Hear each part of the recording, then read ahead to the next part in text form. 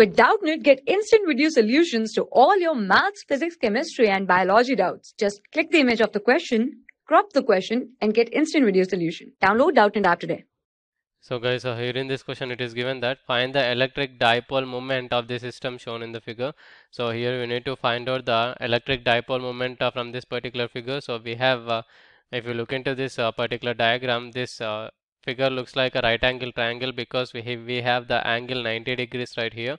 So we have the sides as a plus q and a minus 2q and plus q. Okay so we have the uh, length and breadth values as uh, a and so the hypotenuse value will becomes under root uh, 2a so this is a hypotenuse uh, value that I am uh, considering and let us suppose this is the direction of the p2 okay? And uh, this is the direction of the p1 for the calculation purpose only I have taken this. So dipole moment is always from negative to positive only. Okay? So according to that we will write p is equals to mm, uh, q into d.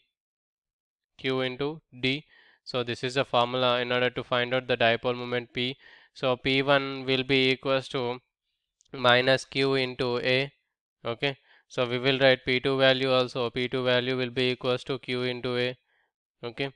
So in the P1 we will get the negative charge and in the P2 we will get the positive charge because the dipole moment first starts from the negative and uh, comes to the end at the positive.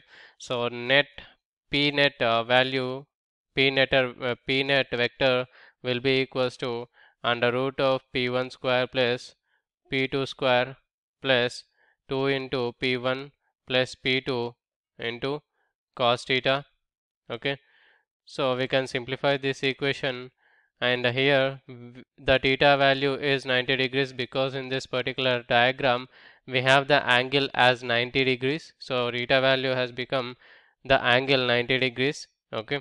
Then p net uh, vector p net bar will be equals to under root of p1 square plus p2 square. Okay. So we will get the value so that will be equals to P1 will can be written as uh, Q into A whole square plus P2 value is also Q into A whole square. So we will write if you take the QA out QA into under root 2.